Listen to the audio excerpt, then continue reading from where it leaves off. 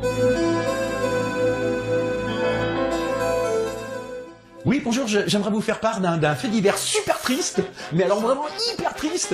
Je, suis tout bouleversé, là, je suis hyper triste. Ok, d'accord, c'est vrai que ça se voit pas comme ça, mais à l'intérieur, je suis hyper, hyper euh, triste.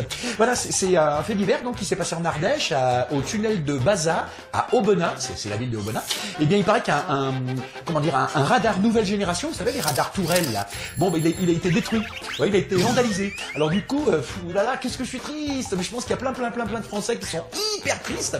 Bon, c'est vrai que ça se voit pas trop que ça, mais c'est intérieur, vous voyez, c'est, on est pudique, hein, voilà, on est triste, mais intérieur. Donc voilà, pour, pour dire que, bon, bah, voilà, cette info m'a rendu triste, donc je vais aller pleurer, là. Je vais pleurer longtemps, longtemps, longtemps, longtemps, longtemps.